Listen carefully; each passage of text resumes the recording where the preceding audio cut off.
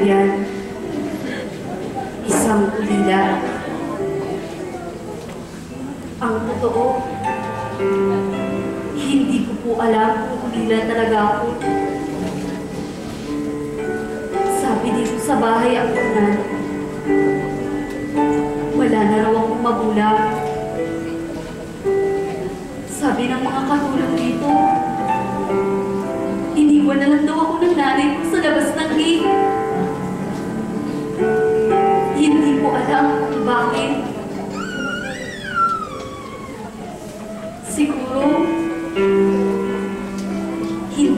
ako kailangan. Maaari din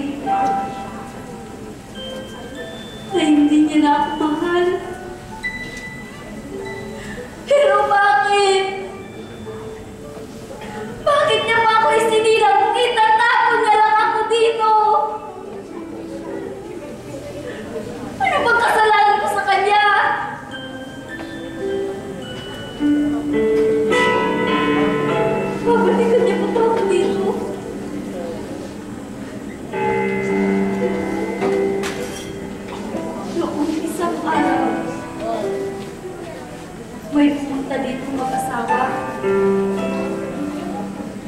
Pag alis nila, kasama na nila si Karen. Ang din dito. Buti pa siya. May magulang na. May pamilya pa.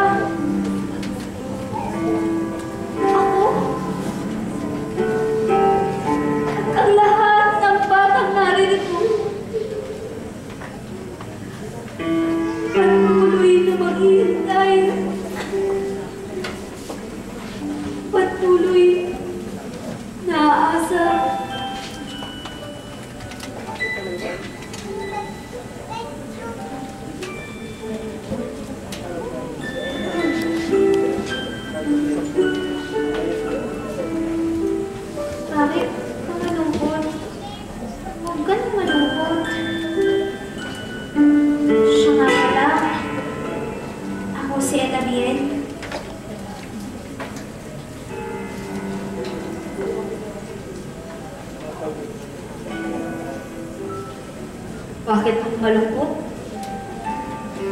Kasi wala akong ama. Wala akong ina. Wala akong ganun dito.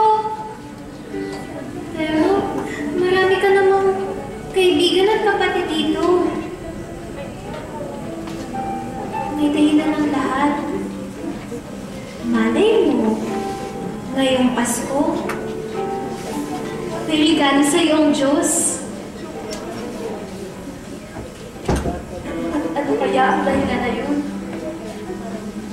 Mahirap maintindihan ang kagustuhan ng Diyos. Basta ang alam ko, lahat ng plano niya ay mabuti at nararapat.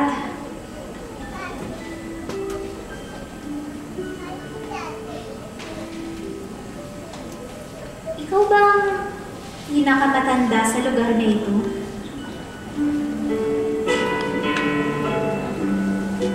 Parang ganun na nga.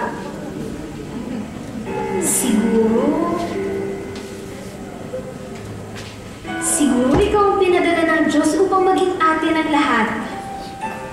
Ikaw ang magsisilbing gabay sa kanila habang naririto pa sila. Siguro nga.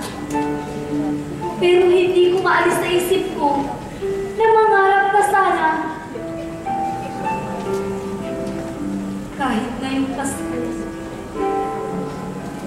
Maalala kami ng mga magulang namin. Ipagdasal natin yan.